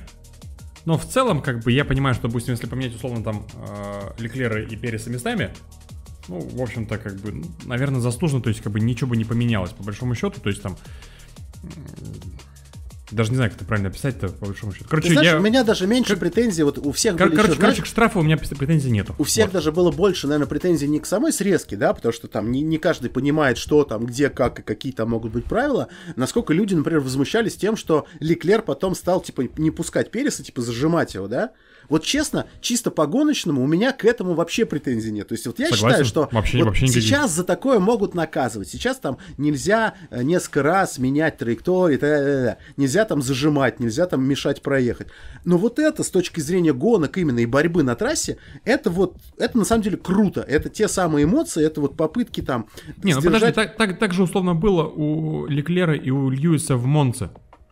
Такой же чуть-чуть зажим перед рожей, по-моему, где-то было, я даже не помню, по-моему, перед ней. Никто же ничего не дал. Вот То есть для да- меня да, это чуть-чуть вот вообще, поддавило. это, у меня даже вопросов не будет, я скажу круто. Я наконец-то вижу гонки. Вот один пытается, даже если у него быстрее машина, даже если у него резина лучше, но он пытается обогнать, а тот, у которого даже меньше, вот у него хуже условия, но он из последних сил это делает, и это круто. Вот это гонки. К этому вообще претензий нет. Но когда две машины едут друг за другом, а одна из них в какой-то момент проезжает наискосок и дальше едет, а, а тебе, Ну, вот не а знаю, тебе то есть- приходится тормозить, да, там, условно, первой передачи, там, этот, это ме- медленнейшая шикана, там, я не знаю, она, наверное, километрах на 60 там проходится, мне почему-то кажется, она как и там, ну, может, в 80, она очень медленная. Ты туда, раз, раз, и, а этот, условно, как ехал, он, да, он, конечно, приотпустил, чтобы его там не развернуло и так далее на воде, но, тем не менее, ты на постоянном газу, на нормальной скорости приходишь, у тебя уже достаточно сильная скорость на разгон, нажал на газ, да, вот в этот момент, видимо, была пробуксо- пробуксовка, еще что-то, но, тем не менее, а, чисто по даже пройденному кил, а, метражу, не кило, а просто метражу, ты получ... ну, то есть ты ехал не по трассе, в конце концов. И вот Ну, к этому... Здесь сп- спорная ситуация, на самом деле. С одной стороны, Давайте, как говорю, бы, полтрассы срезать сразу. с, с- с одной стороны, как бы Перес, ну, прям не атаковал. Он не был прям в базе. Ну, вот эта дурацкая фраза, но тем не менее, он прям, то есть не было какого-то у них прям, чтобы они поравнялись. Слушай, а далее, вот что сейчас, а, в- а в базу бы въехал, началось бы, он меня выдавил, у меня место там не оставил, я поэтому... Я тебе мне про что ситу- срезать, ситу- ситу- бла-бла-бла». я, я про что ситуация на самом деле очень спорная. С одной стороны, вот Леклер, если бы вписался в поворот, Психологическая атака это тоже атака. Если я у тебя вешу, я тебе говорю, там даже в пяти метрах от тебя, но я постоянно маячу у тебя в зеркалах влево, вправо, влево, вправо, ты не знаешь, когда я буду тебя атаковать. Ты не знаешь, когда ты всегда захочешь тормозить чуть позже, чтобы не дать мне возможности тебя перетормозить, и ошибешься в этот момент. Но я-то тебе на мозги капаю, я тебя атакую. Я же говорю, не Со- надо стучаться, со- вот так нет. вот сзади ехать, говорить, привет, сейчас атаковать буду. Ни хрена. С, с одной стороны, ну, опять же, то есть твоя психологическая атака, она как бы, ну, не дает тебе преимущество, условно, то, что ты после поворота... А я, а я психологически атаковал, я должен быть сейчас впереди после поворота и А так меня далее. никто не атаковал, поэтому я полтрассы срезал и уехал, но я не получил преимущества. Он же меня впрямую-то не атаковал, я просто... ну, Просто я поехал. Мне захотелось Вот, я говорю, что поэтому ситуация прямо такая, она очень на грани, поэтому, в принципе, когда дали Леклеру штраф, я такой, как бы, ну, в целом, как бы, ну, да, наверное, можно и дать, на самом деле, по большому счету. Опять же, если взять э, вот это последствия штрафа, ну, как бы оно ни, ну, ни хрена уже не меняло. Ну, Да, дали бы штраф, да, ну, не, конечно. не дали бы штраф, ну, ну, уже как бы... Не сегодня, так завтра, да. Да. И может Поэтому- быть даже было бы наоборот, что вот мы бы там... а какая у нас следующая гонка? Что там? Куда мы едем? Там, в Америку уже? Куда мы едем? Да, в Остин мы и вроде едем. Вот. И, понимаешь, Я это, был, запутался, это было бы, да, это что слишком длинный чемпионат. Я тут, знаешь, себя поймал опять на мысли, Ага. что вот раньше каждый гран-при Было лучше. праздник. Ну это праздник прям был, ты ждал, как ты просто, ты и каждый сезон, и каждый гран-при, ты, потому что это событие было. А сейчас они каждую неделю проходят, ты такой, ну буднично как-то все стало. Где мой, где мы, верните детям радугу, а мне праздник, пожалуйста. Хватит, хватит 600 гонок в год проводить Формулы-1. блин. проводите где как говно какое-нибудь, я не знаю, но оставьте мне королевские гонки королевские. Ну окей, ладно, это дед поворчал немного, вот. А, так вот, э, вот, вот, вот даже если бы они вот, ну, не случилось бы, и представляешь, вот в Америке бы в любом случае, например, по очкам бы все, вот э, не за 4, там, а за 3 гонки стал бы чемпионом, и поздравили бы в прямом эфире, и все бы скакали, прыгали, ссались в штаны, как бы от счастья, ходили колесом, было бы круто. Но здесь вот это, это же реально выглядело настолько искусственно просто. Ну, то есть вот, типа, ну, ну, ну, Япония, ну, типа, Хонда, вот это все надо, надо, надо и, и вот, и, выжить из себя все, но ну, ну как-то умудриться, чтобы это случилось. Умудрились. Но все такие сидят теперь, как бы, типа, и чё? И, и ну и чё? Как, где? А, чемпионом стал? А, ну поздравляем тогда, ты чё? Ну, как бы...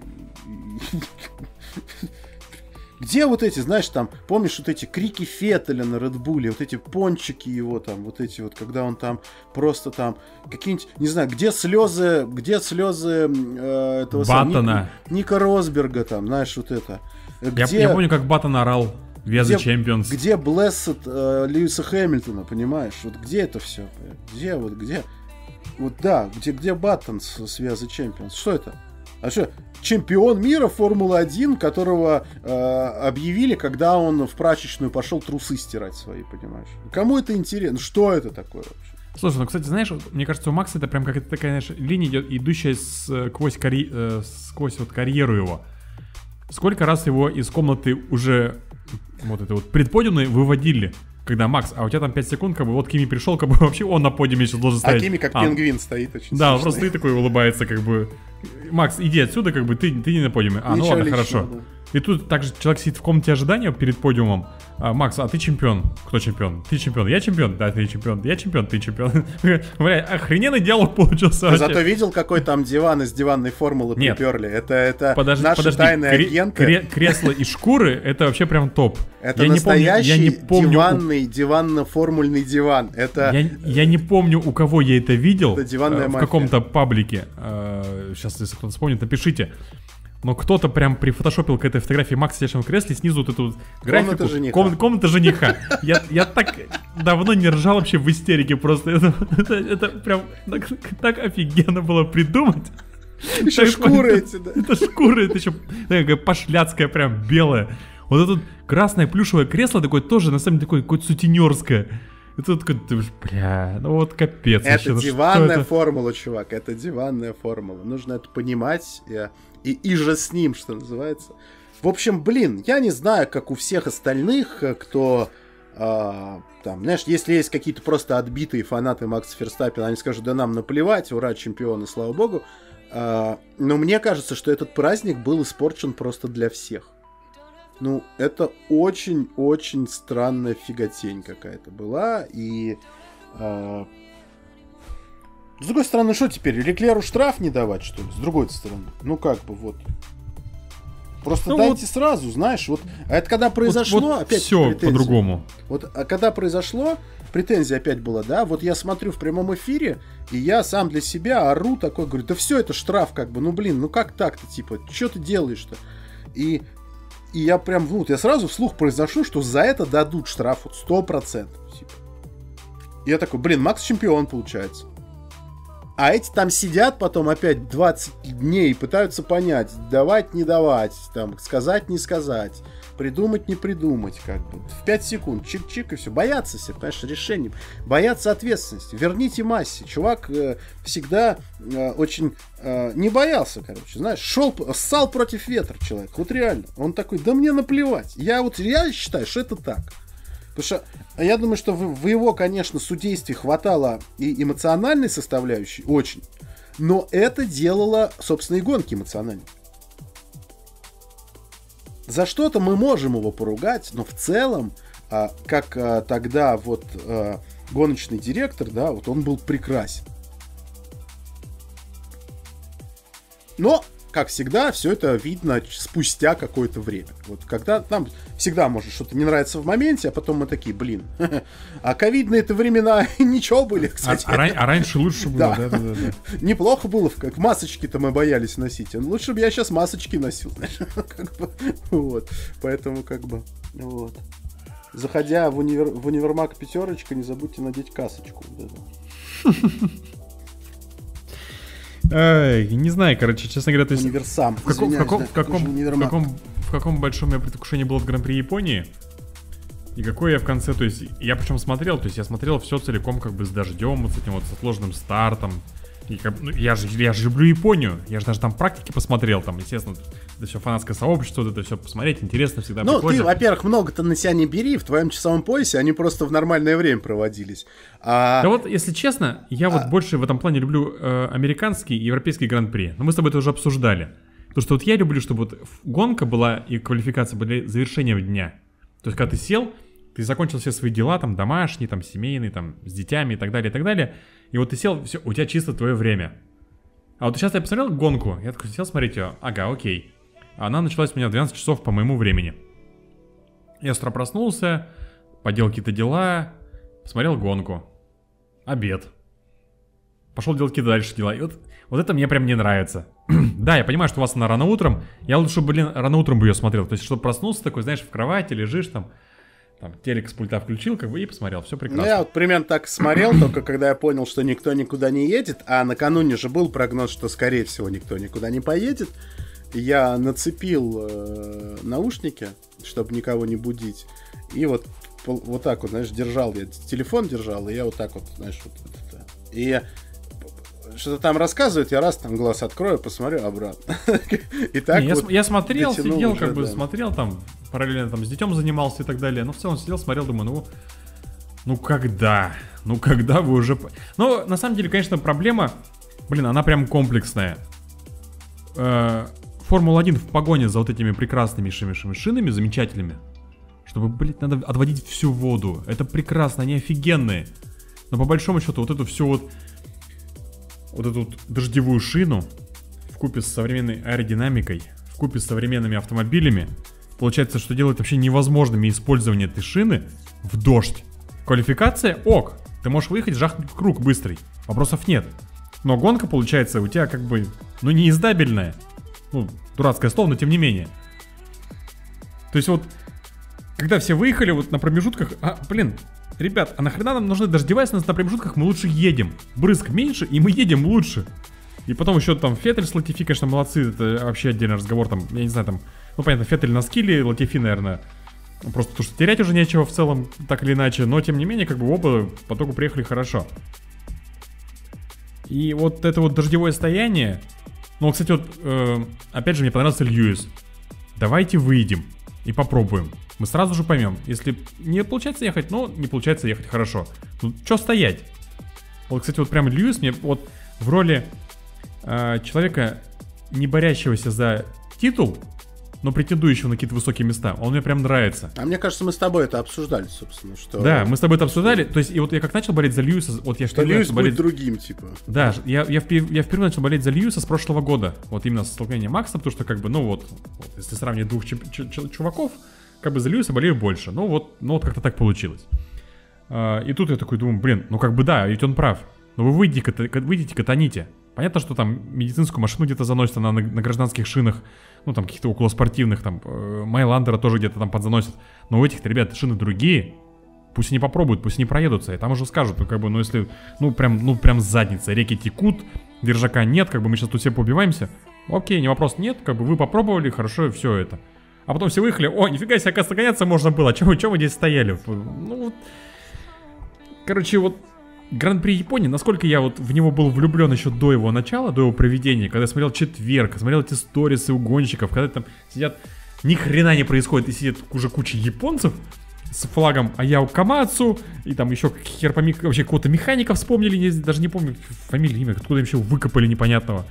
То есть, насколько вот начался этот гран-при с такого моего предвкушения, с таким с придыханием, думаю, вот она, Япония, ее не было два года.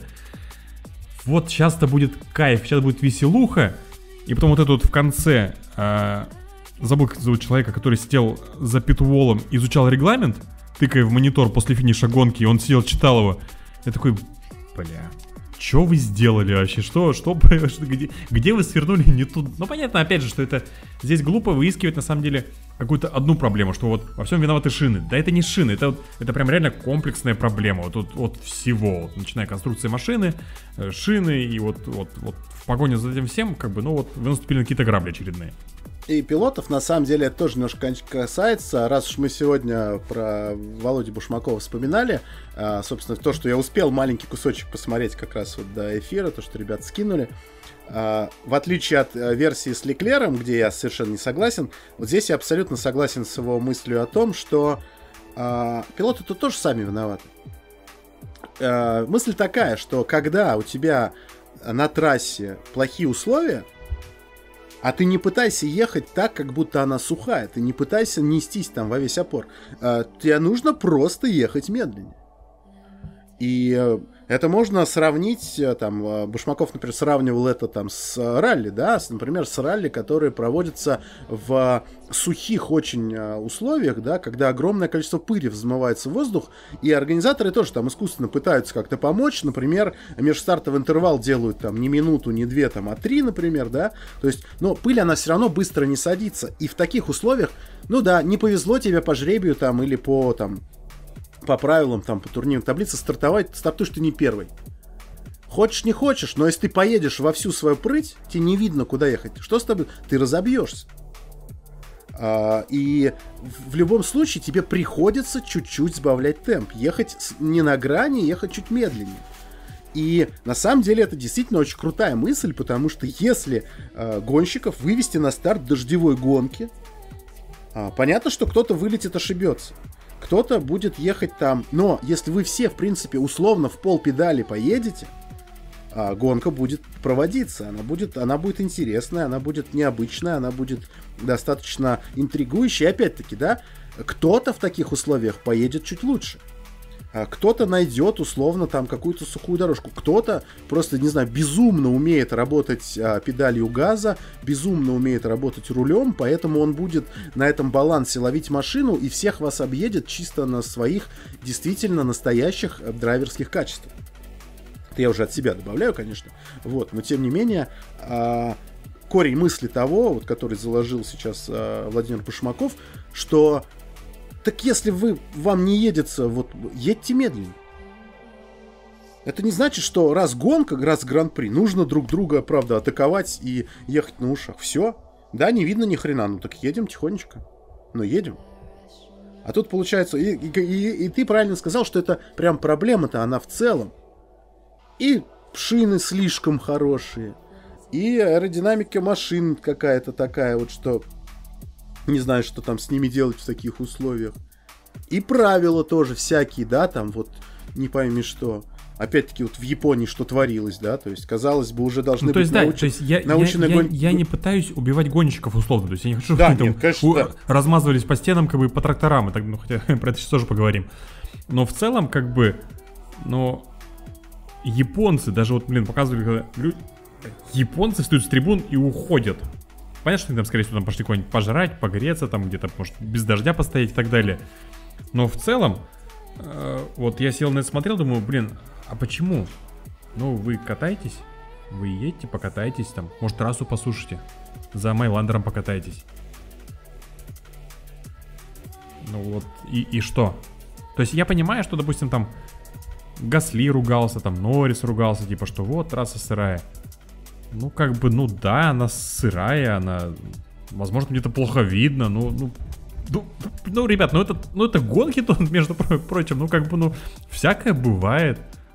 Бывает Да, там мы же ду- не, ду- не в закрытой арене катаемся. Как бы. Бывает дождь, бывает туман, бывает яркое солнце, бывает холодно, тепло, жарко и так далее. Ну, ну как бы да.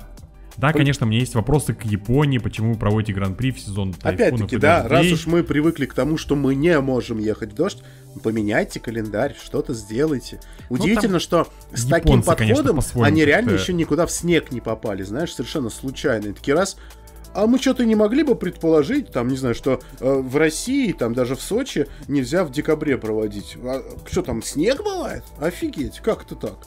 Ну, то есть, Кстати, а я, я помню какой-то год предсезонные тесты. Помню, где-то в Испании снег выпал. Было очень прикольно. Я помню, что гонщики тоже такие как бы...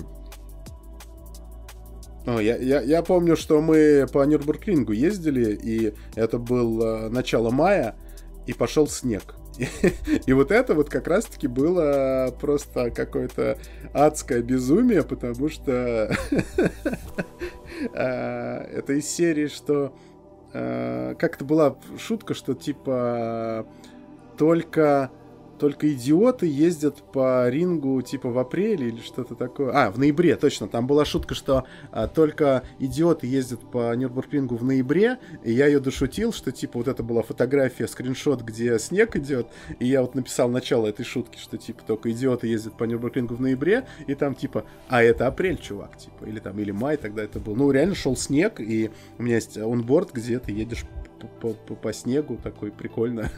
Снег идет, ты тут на какой-то самой известной в мире гоночной трассе катишься. Ну, понятно, что это был все-таки туристический заезд, и это никак не связано с гонками, но, собственно, гонки на Нюрнбургринге снег тоже проводились, поэтому как бы тут-то тут-то ничего такого.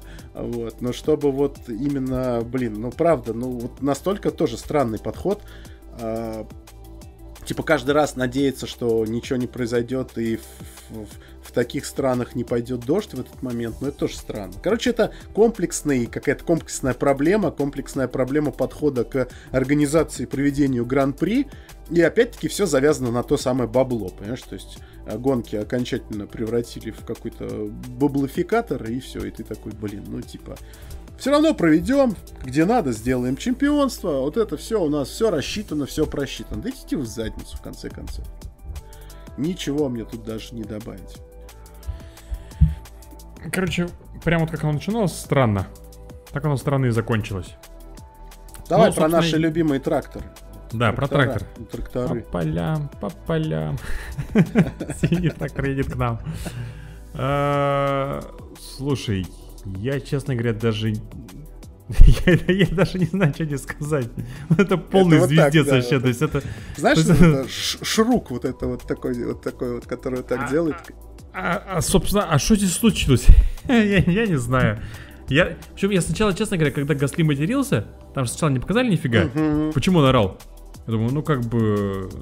Нет, ну понятно, там Гасли были проблемы с тормозами в квалификации, что-то там весь перевозбудился.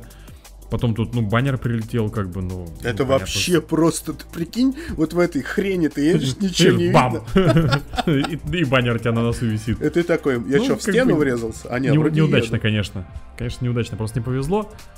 Я сначала, и когда потом начали появляться видосы с трактором, я такой, чего, серьезно, у тебя в полутора метрах здесь трактор, что ли, проезжал? Ну, вернее, ты проезжал мимо трактора, условно. То есть, обычно, как бы, мы привыкли, что где-то там, я не знаю, у нас в каких-то арабских странах специфичные какие-то маршалы. В Азербайджане бывают специфичные. Ребята просто как-то неподготовленные. Но в этом Вот. году долго ждали, например, трактор в э, этой самой, как его, в э, Нидерландах же тоже там, они все Да, да, да, да. катались, Тоже катались, потому ковы- что ковырялись, было да. не подъезд, ну типа, а тут какой-то вот, знаешь, вот это вот, это реально выглядело так, как будто кого-то их заставляли как можно быстрее все закончить, чтобы успеть провести гонку, чтобы гонка состоялась, чтобы нужное количество очков. То есть вот это вот, я говорю, почему есть ощущение вот этой искусственности? Потому что как будто палками их туда выгнали, но я не могу поверить, что дирекция гонки и там спортивные комиссары, которые сидят и дают распоряжение тому, что можно выпускать людей там, можно выходить. Ты же, ты, ты не можешь ничего, по сути, сделать без разрешения главного. Там, у тебя на посту есть главный, у тебя... Ну, ну, кстати, послушайте, если кто не слушал, да, подкаст про гоночных маршалов, который мы с Пашей Коптеловым записывали, про Гран-при Сочи. О, Гран-при России, в смысле, и как он туда ездил. Каждый раз хочется сказать Гран-при Сочи. Это так непрофессионально, просто кошмар. Вот. И... э, да ты, блин, пернуть не можешь по факту. Но, значит, было распоряжение, а уж тем более технику выводить на трассу, когда еще не весь пелетон собран за машиной безопасности. Это вообще, это, это что вообще такое? Это как, это, и еще тем более, да, в, в таких вот условиях. Ладно бы сухо было, а там, правда, не видно ни хрена. А если бы, причем там на вот этом анборде, когда Гасли именно смотришь, Там ощущение, что трактор не то что по обочине едет, он по трассе едет. Ну, он ехал, по-моему, так 50 на 50, по-моему. Ну, то Половина есть, по, вот, по дороге, половина а, по, вот, по а вот захотелось бы мне чуть левее поехать в этот момент, по- потому что я не знаю, мне казалось, что там лужа, например, справа. И все, я приезжаю опять в этот трактор. Да, конечно, ха- хало есть божественное. По касательной, опять же, приехал бы, скорее всего, там, ты бы не прям по него заехал. Но я тебя понял, да, я твою мысль услышал. Просто, типа, come on, японцы, вы чё там? Чё, чё, чё случилось-то? И это вот еще один камень в тот огород, что это все выглядело очень странно и правда искусственно. Я не понимаю, что это. Хочется пеной, знаешь, брызгать изо рта и орать. Что за трактора у нас? Ну что тут, э, э, как это, как он там, трактор э, пулинг или как он там назывался, это соревнование-то, где э, гигантские там с- в несколько в ряд соединенных адских дизельных двигателей в тысячи, тысячи, тысячи лошадиных сил. Ну, короче, соревнования, где надо сдвинуть, а, протащить груз. Там А, с- да, собирают эти вот трактора такие просто невероятные. А, там, когда они нажимают на газ, там, а, собственно, на Венере перестают расти цветы, потому что там, все черное вот это. Вот, и они там, типа, дергают такие там много-многотонные грузы и там и себя разрывают на части. У нас что, соревнования на тракторах здесь, что ли? Что происходит вообще? Это Ну, вот то есть, э, вот без шуток, у меня к организаторам э, Гран-при Японии что-то в этот раз очень много вопросов вообще. А и забыли Вот. как? Два, два, два года не вот, ви- видимо, да, то есть то ли разучились, то ли еще что-то, хотя у них там, ну, есть у них там супер формула, у них там есть там свой GT-чемпионат какой-то там проходит так или иначе. Ну, то есть, что здесь произошло, почему так все это вот, то ли с погоды. Я, я честно, я, я пытался анализировать, пытался какой-то там перед подкастом и после гонки, думаю, надо какую-то там мысль там. Да тут как бы, тут просто косяк на косяке и косяком погоняет. Вот, вот, вот просто, ну, какая-то халатность, просто какая-то вот Гребаная тупизна. Ра- распиндяйство какое-то абсолютное. Вот, вот и все здесь. Ну, Я не, я не знаю. Ну, ну, р- реально радует, во-первых, что никого не угробили. Что все у нас, как бы, к счастью, живые. Там Сайнс убрался, как бы, ладно, сам. Здесь, конечно, Сайнс, Сайнс тоже вот... Вот как он сезон начинал странно, так он что-то вот... У него вот какой-то вот... Все ехали, но убрался только Сайнс. Ну, Ну, блин, еще тоже, Албан- знаешь, такое, типа, ну, чуть резче на газ стал. Его, Ну, по сути, понятно, да. его чуть ли не напрямой там понесло, поэтому это такое, как бы, там, знаешь, это... Да. Поэтому, ну, ну, ну вот, ну вот ошибка такая случилась, как бы случилось, случилось. А, Про отдельных только персонажей, если еще поговорить. Феттель, безусловно. Потрясающая квалификация, потрясающая гонка. Ну, гонка причем была начиналась весьма спорно. с вот этим Не, не, она, она не то чтобы спор, нет, наоборот, она началась очень круто. А, вообще, Астон Мартин это команда, которая просто вот показала, что она может быть на голову выше всех, потому что э, два чувака, да, с одной стороны Феттель, с другой стороны Строл, которого кроме как денежным мешком и ни- ни- никем не считают обычно, да, но Феттель помчался по одной обочине, а Строл в А этот Строл же по момент- другой. Строл вообще проехал по единственному сухому месту в этой трассе. Причем мне, мне реально понравилось, то есть, когда у него Это очень я, я красиво. чит- читал интервью, да, он говорит, ну я сидел, говорит, смотрел, смотрю, говорит, прям полоса сухая, говорит, там никто не едет почему-то, говорит, а я Да. взял, то поехал, а там, говорит, Это, сухо. это мне, знаешь, напомнил это тоже старую шутку. Это где было? Во «Властелине колец» или где, когда они ломились там через мост все, а, этот самый Леголас с а, Гимли вышли из такой маленькой дверцы в стене, в середине башни, и говорит, а чё они сюда не идут? Он такой, так здесь выход, а там вход, типа. Вот, знаешь, вот это вот, типа, а, а чё вы не едете-то сюда? Типа, почему вы Ну, стоите? причем анборд просто шикарнейший. С 17 места до 11 заехать за один поворот, это прям, причем до первого поворота, вернее. То есть, ну, смотрелось, конечно, офигенно круто, то есть, строл прям респектос. Да, конечно, гонка по итогу как бы там не получилась, она там прошла спорно, сложно и так далее, все эти переменные условия, сложно было обгонять и так далее. Приехал, конечно, вне очковой зоны, но Феттель. Очень эмоциональная. А тот с такая- обратной стороны, да, поехал, но видишь, у него на пути просто Алонсо возник, и они как-то Ну, понятно, по- что брызг, брызги там, честно говоря, даже... Я, я смотрел, когда думаю, там, кто виноват, да никто не виноват, просто, ну вот... Нет, конечно, вот так вот, то есть это- стартовый за- завал, брызги, скользко, мокрое, с- как бы, ну ни хрена непонятно, что теперь говорить. Вот, опять же, очередная трогательная речь от э, Феттеля в квалификации. Спасибо большое Сузуки, одна из крутейших трасс. Но он Они ее очень любит, заниматься. собственно, и он, Да, и есть- Хэмилтон, это они как бы, ну, Хэмиль- с Хэмилтоном сложно, его где ни спроси, у него лучшие болельщики лучшая трасса, но, а, в принципе, они ну, вот оба подчеркивали, Нет, а в, что, пред- конечно, предве- Сузуки- в преддверии, кстати, Гран-при выкладывали э, небольшой онбордик, не онбордик, вернее, а радио Льюиса с, э, получается, там, с двухгодичной давности, когда последний раз приходила Гран-при Японии до ковида, и он, в- по-моему, в практике, что ли, просто ехал инженером, сказал, типа, ребята, говорит, жаль, что вы не ездите по этой трассе, это, типа, просто феноменальный трек, он офигенно классный, крутой, тут просто полнейший восторг вообще от, от управления автомобилем получаю. Вот, и Феттель как начал хорошо, так интересно, что получается после квалификации на том же месте он и финишировал.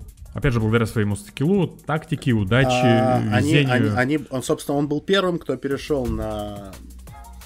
Ну, они с Латифи вместе заехали-то так на одном круге. Вот, но... Опять же, никто... опять же, был шанс столкнуться, конечно. Но, кстати, меня опять же порадовало, что никого не наказали по, по, по этому эпизоду. Потому что, в принципе, ну... Ну, как бы никто никому не помешал. Ну, вместе проехали параллельно, да выехали. А, Латифи Ну, это, знаешь, такое, раз в год и палка Я стреляет. понимаю, но опять же, Но да, э, именно вот это такой вау-эффект, конечно, это произвело. вау-эффект, то есть, окей, ты переобулся, тебе было нечего терять, но ты доехал, ты боролся, и ты не ошибся. То есть, как бы, да, Латифи, окей, конечно, это уровень такой для Формулы-1.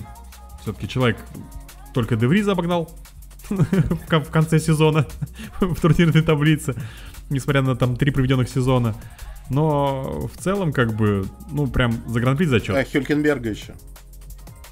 Ну, тут, тут было несложно. Хотя, хотя, для Латифи и это могло стать задачей. Вот, поэтому здесь прям большой такой жирный плюсик. Э, И как он сказал, сам сказал, что, конечно, это не повлияет на мое никаким образом будущее. То есть, как бы тут все решилось, как бы, да, я ухожу. Все. Меня уходит, я ухожу и так далее. Э, Непродлеваемый контракт. Но прям, честно, за Японию я прям за него порадовался. То есть я считаю, что человек в целом как бы это заслужил, хотя бы только этой гонкой безошибочно, четко, все грамотно проехать, э, ну прям и кайф. Ну про Кона мы уже тоже говорили в целом, что незаметно на четвертое место с Льюисом все время боролся, ну вот эту всю нашу 40-минутную гонку, Ну, боролся, боролся и доборолся. Кто у нас там еще интересный был? Да видишь, знаешь, вот я пытался когда проанализировать, вот гонка-то вроде классная. Ну прям, вот, то есть Да. вот, несмотря на Ну то, и что кстати, и, короткая... кстати, и, и, кстати, за Мика мне очень обидно, если честно. я да. прям... Я понимаю, на что ставили Хас, я понимаю, на что они надеялись. И, в принципе, я даже их логику могу понять. То есть, с учетом всего, что мы видели на старте гонки, в смысле, основной, в основное время, и что можно было ждать, я понимаю, что ты там сейчас думаешь, что начнется кигельбан, боулинг, все начнут убираться, разлетаться и так далее. И был шанс на какие-то офигенные очки.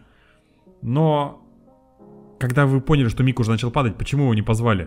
То есть они прям слишком уж долго ждали, ну прям слишком долго.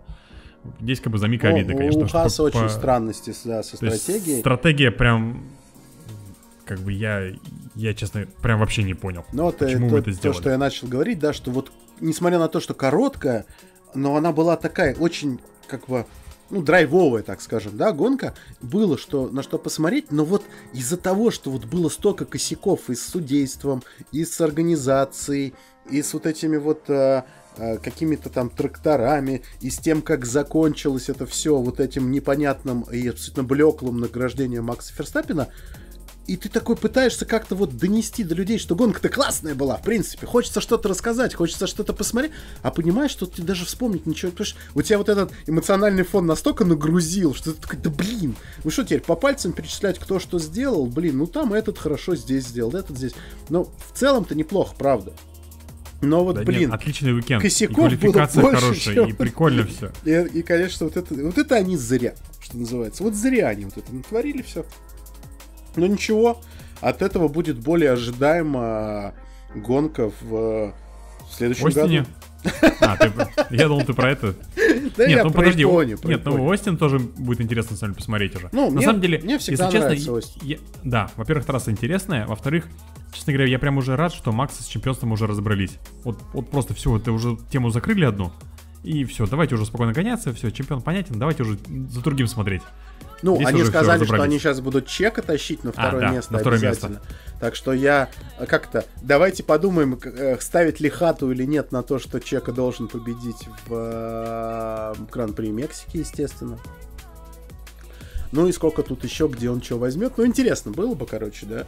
И посмотрим, как они будут на это влиять, что будет Я для этого все-таки, делать все-таки, Верстаппен. я все-таки жду хотя бы одну победу Мерседеса в этом да, году. да. Неважно, кто это выиграет, но я прям жду, что Мерседес, ну, ну, хотя бы одну, ну, надо взять. Ну, А- это, это, это, в принципе, будет закономерно, на самом деле, это будет по сезону. То есть я считаю, что Мерседес, в принципе, победу заслужил в Один этом из сезоне. очень крутых э, комментариев, который очень сильно мне понравился под э, обзором, был как раз-таки посвящен тому, что действительно а, хочется, чтобы а, был подиум у Мерседеса, а лучше даже победы. Причем, если честно, вот все равно у кого, потому что обоим она очень нужна. И Льюису, и, конечно же, Рассу, как, как такая вот, да. А, очень хочется, а, если не победы, то хотя бы подиума для Рено. Обязательно просто. Вот прям тоже. Для того же Алонса это прям вот э, очень хочется, чтобы Алонсо до подиума доехал в этом году. Ну прям вот. И мне бы лично хотелось, чтобы до подиума э, напоследок доехал Феттель. Ну, блин, это было бы Но, хорошо. но это Да. уже совсем, конечно, из области фантастики. То есть, знаешь, ближе ка- кажется, что бы- быстрее Алонсо доедет. Но, опять-таки, вдруг опять какие-нибудь будут вот такие вот условия, где-то там дождь пойдет. или, Нет, я ну, не у нас знаю, б- там- была же прошлогодняя Венгрия. Да? У нас был Азербайджан. Когда Феттель у нас, в принципе, опять же на подиуме стоял. Поэтому, ну, чем черт не шутит, Было на бы самом круто деле. просто, потому что все-таки длинная, интересная карьера, 4 чемпионских титула. И Ну, это, это хот- вам как бы не шутки. хотелось бы, чтобы вот был какой-то завершающий аккорд, потому что а, вспомни, как а, в свое время а, уходил Шумахер в а, 2006-м а, из Феррари и, собственно, из Формулы-1 тогда. Гонка в Бразилии тогда, это было просто, это не то, что дверью хлопнул, это было просто вот всем показать, потому что, в принципе, там не сильно сезон-то клеился, а, но, тем не менее, вот это, это было прям вот... с- я с открытой челюстью тогда смотрел, я помню, что, что он творил на трассе и как он ехал.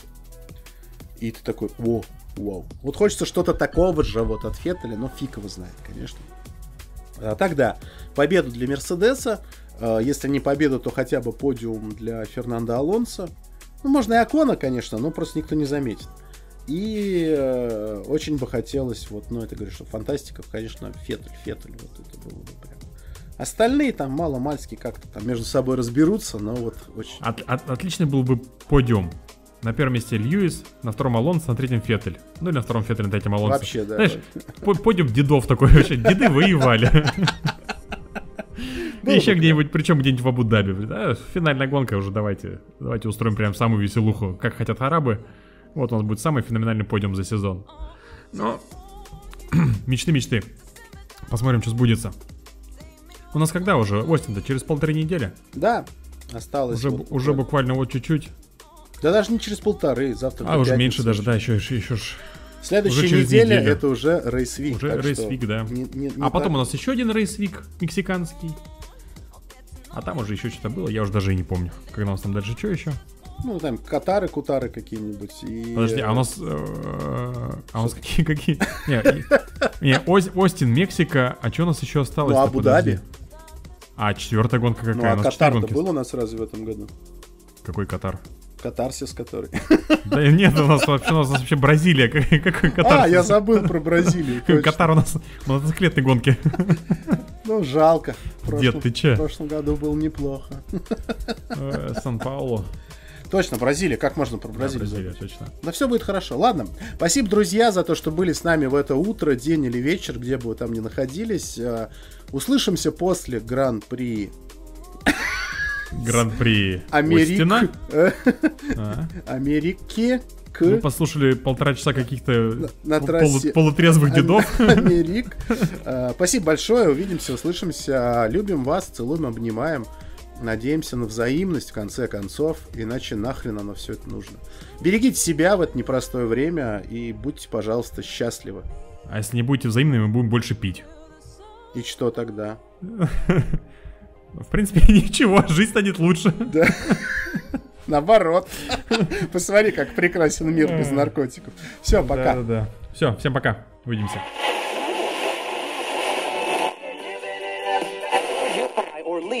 Потому что от многих слушателей пришли письма с просьбами об этом.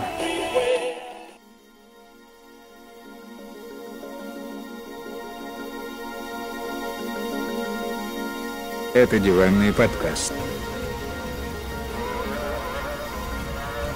Здесь шумят моторы.